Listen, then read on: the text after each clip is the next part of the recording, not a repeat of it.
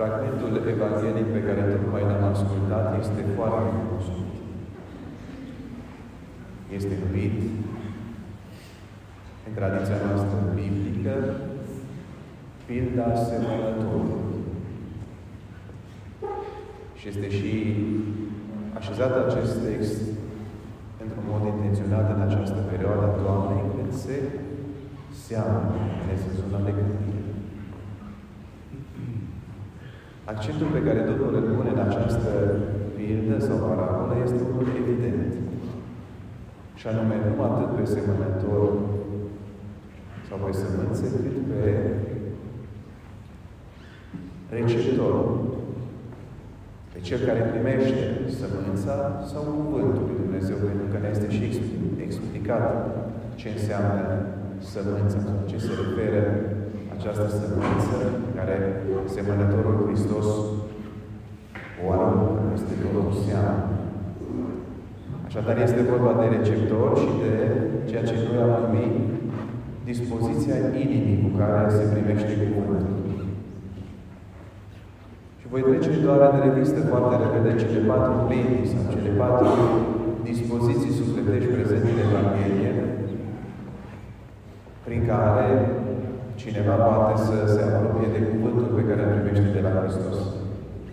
Și anume, era vorba de sămânța crezut de la marginea Duhului. Această ipostază exprimă împrăștierea. Împrăștierea și indecizia omului cu care se apropie de Cuvântul lui Dumnezeu. Când ești la marginea Duhului, înseamnă că nu ești pe drum, înseamnă că te-ai oprit din itinerarul pe care l-ai de făcut într o anumită destinație. Deci, pe de o parte ești indecis, iar pe de altă parte ești împrăștiat. Să ne gândim că această margine a drumului poate să însemne și faptul că în itinerarul nostru spre ceva, ne oprim cu unul sau cu altul, născând discuții, un dialog care poate să fie cuprinzător pentru multe atitudini, inclusiv calomnii, bârfe și celelalte. Dar oricum, ideea este că suntem împrăștiați, o stare de împrăștiere care nu presupune un spațiu propice pentru a primi Cuvântul lui Dumnezeu. Cea de-a doua impostază, sămânța căzută pe piatră. Este o imagine arhi cunoscută. Sămânța de rău repede, mai ales dacă este și puțină ploaie și puțin soare. Însă când soarele dogorește mai tare, sămânța Lestarul care a din sămânță se usucă foarte repede. Această a doua ipostază se referă la starea noastră uneori când suntem foarte entuziaști, dar entuziasmul acesta nu are conținut. Suntem foarte grăbiți. Când avem o stare bună, suntem și în stare să promitem și să ne angajăm în lucrări absolut complicate care depășesc puterile noastre. Eu sigur duc până la capătul acesta. Eu sigur pot să fac lucrul acesta. Și sigur că, după ce dăm peste greutăți, proiectul de care vreau să fim siguri la un moment dat, nu se, nu se continuă și rămânem doar cu acea stare inițială de entuziasm, dar ziceam, care nu este continuată pentru care am zis.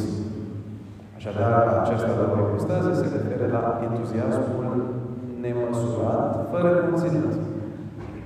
A treia situație, sămânța căzută între spini, crește și ea frumos, lăstarul crește frumos la un dat. Dar pentru că spini, spinii și ei cresc deodată, nu răbușe. Și Domnul explică că e vorba de grijile pământești, exagerate. Nu că dacă trebuie să ne, să ne grijim de cele ale vieții, să ne grijim de peste măsură. Și atunci, aici această treia ipostază aș exprima mai ales în forma aceasta, ca noi, la anumite momente, sau poate foarte, pentru foarte mult timp în viața noastră, căutăm cheia succesului și a unei bunăstări materiale,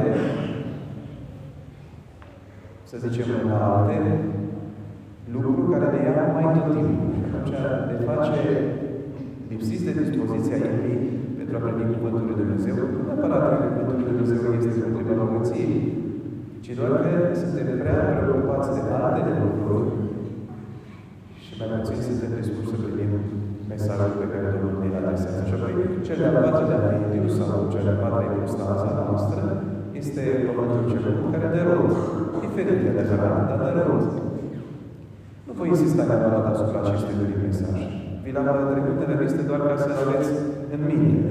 Nu e vorba de patru categorii diferite, ci e vorba de noi, patru ipostaze diferite. Câteodată suntem ca cei de drum, câteodată ca sămânța care cade pe piatră, câteodată ca sămânța care cade pe spini, iar altă dată, din fericire, suntem și ca sămânța care cade pe pământul cel bun. Acum, accentul pe care aș vrea să pun în această, în această învățătură este mai degrabă pe semănător. Evident, parabola Hristos este semănător. Dar aș vrea să extind această imagine și să fac trimitere la toți cei care au semănat Cuvântul lui Dumnezeu în viața noastră și ziua de astăzi, într-un fel, să o dedic acestora și aș vrea să vă rog la un exercițiu de amintire, gândindu-ne fie la părinții noștri, fie la bunicii noștri, fie la dascării din școală, sau fie la rândul din sat, sau din comunitatea de lângă care la un moment dat, prin cuvântul pe care ni l-au vestit, ne-au schimbat viața, ne-au dus pe un drum, ne-au așezat în culoarea anume pe care suntem la timpul prezent, așadar, și suntem recunoscători pentru tot ceea ce s-a întâmplat pentru noi în momentul acela. Sunt convins că e foarte important din vreme în vreme să ne gândim la oamenii importanți care fac parte din propria noastră istorie. Cineva a zis și mi-a plăcut tare mult această exprimare. Ce este viața, zice el, o succesiune de întâlniri cu oameni deosebiți. Și sunt convins că fiecare dintre cei prezenți astăzi la Valerii am putea o listă destul de lungă cu oameni deosebiți pe care i-am întâlnit în viața noastră și mai ales cei care ne-au vestit și ne-au arătat în frumos sau în Cuvântul Lui Dumnezeu, care au contribuit esențial la ceea ce suntem noi astăzi, la construcția pe care noi o prezentăm, la structura noastră și la ipostaza sau, să zicem, situația, starea în care ne aflăm noi la timpul prezent. Iar gândindu-ne la aceștia, voi încerca să evidențiez foarte pe scurt cinci caracteristici importante ale semănătorului și zic în sensul acesta, cei, cel care ne-a semănat Cuvântul lui Dumnezeu în viața noastră. Și evident, la sfârșit, voi și concluziona că uitându-ne la cei care au semănat Cuvântul lui Dumnezeu în viața noastră, învățăm de la ei și noi să facem asemenea. Pentru că orice cuvânt de învățătură ar trebui să aibă o dimensiune practică, pedagogică, imediată. Acum câteva, câteva caracteristici ale semănătorului. Vreo cinci mi-am pus în minte așa să vi le, să vi le pomenesc. În primul rând, pornit de la Evanghelie, desigur. În primul rând, Domnul zice despre semănător că aruncă sămânța sa. Și acest atribut a sămânța sa e foarte important. Nu e o sămânță de cumpărat, haideți ca să facem această, această prelungire. Nu e o sămânță de cumpărat, nu e o sămânță de care nu ești sigur, nu e o sămânță pe care ți-o propune cineva, pur și simplu din afară. Ți-o propune cineva din afară, dar ea devine a ta. Adică ce înseamnă lucrul acesta? Pentru ca să poți vesti Cuvântul lui Dumnezeu, el trebuie să fie întrupat în tine mai întâi. Noi știm și în pedagogie și la școală, un dascăl nu poate fi convingător dacă doar spune și nu face cele pe care le spune, cu atât mai mult în biserică. Cea mai bună lecție pe care cineva poate să o dea, bineînțeles, este exemplul propriu. Și de-abia după exemplul propriu are curajul să rostească câte ceva, să spună câte ceva. Deci, în primul rând, pentru a deveni părinți, pentru a deveni semănători, în sensul acesta, zic părinți, care nasc de ceilalți prin cuvântul pe care îl știm, e nevoie ca această sămânță a Evangheliei să fie a noastră fac această, această precizare,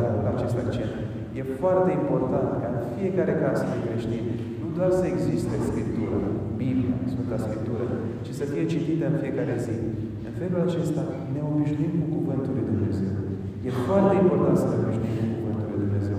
Pentru că el, el în felul acesta se va întrupa în noi și va deveni măsură și pentru gândurile noastre, și pentru cuvintele noastre, și pentru gesturile, și pentru faptele noastre. El va fi un dreptar de judecată care ne va spune ce să facem și ce să nu facem. Deci prima condiție în sensul acesta pentru a semăna bine este ca acest cuvânt, această sămânță pe care noi o avem de împrăștiat să fie a noastră. Adică Cuvântul lui Dumnezeu să facă parte din viața noastră cotidiană. Al doilea element, a doua înfățișare în ceea ce privește pe semănător, o descriu ca generozitate. Și mă voi explica. Într-un fel, vedeți că ne-am putea și întreba, nu este cumva neglijent acest semănător că aruncă sămânța peste tot? De ce să arunci sămânța la marginea drumului dacă nu are pământul bun? Nu cumva pierzi sămânța, cumva se irosește. Sigur, vorbim și de o geografie anume și de un mod în care se întâmplă această, acest proces al sămânatului, pur și simplu se arunca și apoi se, se ara, așa fel încât sămânța să fie îngropată în pământ, dar vreau să mai arăt altceva și aici e cel de-al doilea element. Din perspectivă duhovnicească și pentru un înțeles mai adânc, această sămânță aruncată presupune generozitate, adică nu dai cuvântul doar celui de care ești sigur că îl va primi. Și tu îl arunci peste tot pentru că nu știi niciodată cum cineva poate să fie atins de cuvântul pe care tu îl spui. E foarte ușor, vedeți, să noi să vă predicăm în biserică aici. Că dumneavoastră, cei care veniți la biserică, de fel aveți disponibilitate spre cuvânt. Dar e tare greu de pildă să te duci la o întâlnire publică și noi ca și clerici și să ai curajul, nu doar să spui un cuvânt, eu știu, ocazional, ci să faci anumite trimiteri concrete spre viața bisericească, un spațiu în care oamenii nu sunt neapărat favorabili. Sau la școală, sau mai știu eu, în mediile în care suntem, la serviciu, vedeți, de multe ori ne teamă să spunem că mergem la duminica la biserică. Spunem, nu spunem cuvântul acesta, dar noi, cu foarte multă discreție și eleganță, rostim ceea ce suntem în spațiul în care suntem, fără să avem neapărat așteptări sau siguranțe că noi ceea ce vom spune va fi primit de ceilalți. Dar avem această speranță că datoria noastră este să semănăm, să aruncăm, să împrăștiem Cuvântul lui Dumnezeu, iar cine va primi, asta nu treaba noastră sau oricum nu putem noi să știm. Uneori, surprinzător, cei la care nu te aștepți sunt mult mai atenți și arată mediul propice pentru a primi Cuvântul lui Dumnezeu, mai degrabă decât cei la care te-ai aștepta. Așadar, când aruncă aparent la întâmplare sămânța, de fapt, semănătorul are această nădejde că și cel care este lângă drum indecis, că și cel care este superficial, zic în sensul de pe piatră, și cel care este cu grijile lumii, s-ar putea să primească cuvântul tău și cuvântul să se întrupeze în așa fel încât să-și schimbe viața. Așadar, generozitatea celui care rostește cuvântul. Mai adaug doar atât, de și la școală. Până sunt unele licee bune, școli bune, și se tot vorbește despre ele. E ușor să predai într-o școală bună, de toți copiii învață. Dar e mult mai greu să predai într-o școală în care sunt copii diferiți și să ia să ai vedere nu doar pe vârf, cum se spune, ci și pe ultimii din clasă, să-i ajuți să progreseze. Ei, asta este atmosfera pe care ne descrie Evanghelia. Aceasta este direcția pe care ne indică Evanghelia. Și nu doar a, a lucra cu elitele, să spunem așa, în orice zonă să Rafael. Așadar, a doua, a doua caracteristică. A treia caracteristică, când vine vorba de Cuvântul lui Dumnezeu și de semănător, este răbdarea și perseverența. Ce înseamnă răbdare? Probabil că sunteți dintre dumneavoastră cei care predați în școală și ar trebui să vă rog pe dumneavoastră să-mi spuneți ce înseamnă răbdarea învățându-i pe copii. Dar oricum și în biserică și oriunde. Înseamnă la nesfârșit să spui cuvântul, chiar dacă la un moment dat te obosești și te întrebi oare mai merită? Oare se schimbă cineva? Oare mă mai ascultă cineva? Și acest lucru vedeți chiar și în familia noastră. Nu de puține ori. Repetăm anumite lucruri și zicem, mai este cazul să mai spunem câte ceva. Evanghelia ne spune, da. Este cazul să ai răbdare și să perseverezi. De fapt, așa se și încheie parabola. Că cei care lucrează în răbdare vor dovedi cele pe care eh, le gândesc că vor să le ai.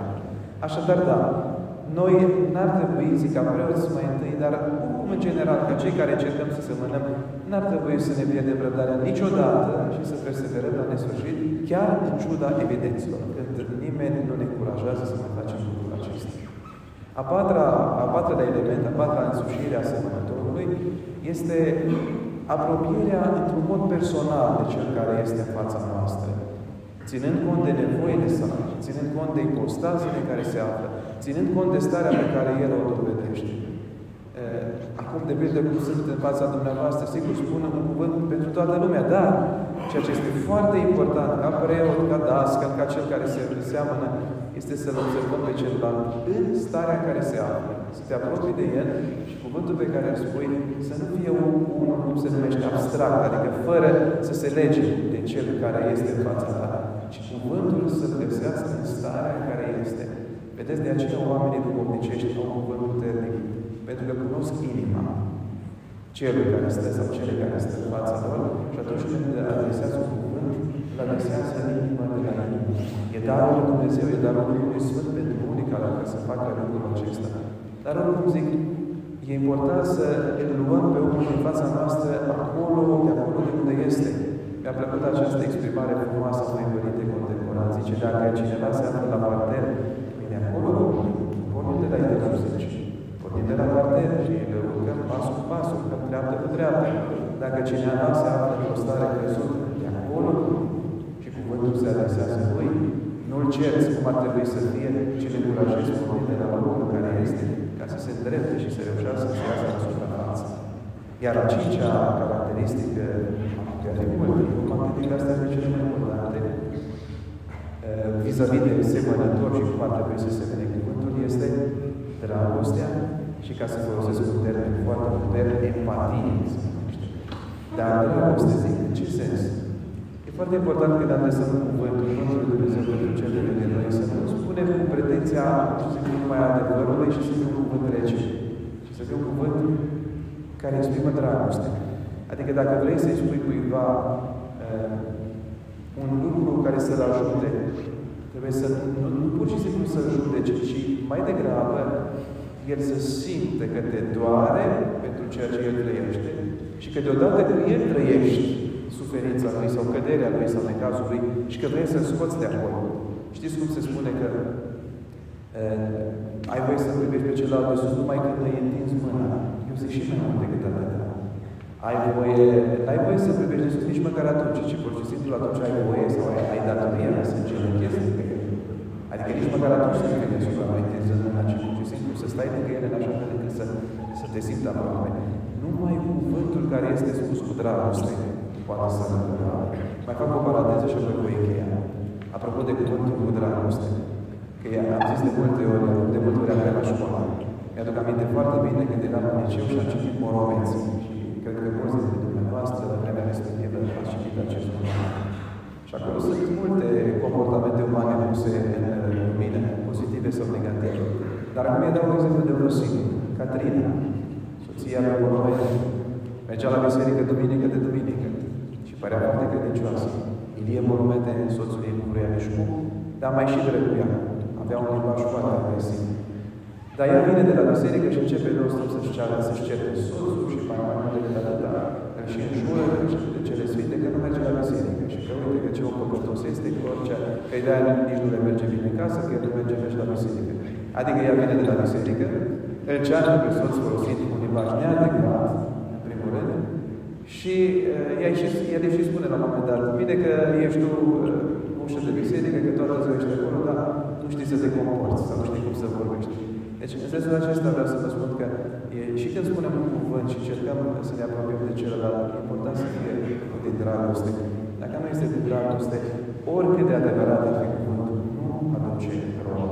Așadar, voi concluziona și voi spune că mi-am dorit ca în această zi să împărtășesc cu dumneavoastră acest gând vis-a-vis de semănător, fiind recunoscători cei celor care s-au arătat așa în viața noastră, semănători de cuvânt bun la un moment dat. Și am zis, în familia noastră, părinți, bunici, în școala noastră, în biserică, sunt oameni obișnuiți pe care am avut în jurul nostru. Și am zis că, privind la ei, încercăm și noi să învățăm cum să fim în viața de zi cu zi. Și noi înșine, fiind rezultatul semănătorului sau semănăturii cuiva, să devenim și noi semănători de cuvânt bun pentru cei din jurul nostru